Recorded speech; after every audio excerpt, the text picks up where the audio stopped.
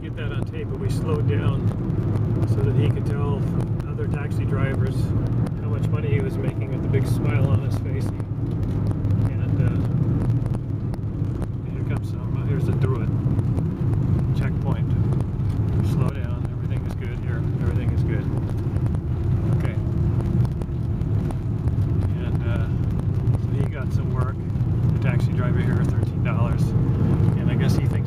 good deal.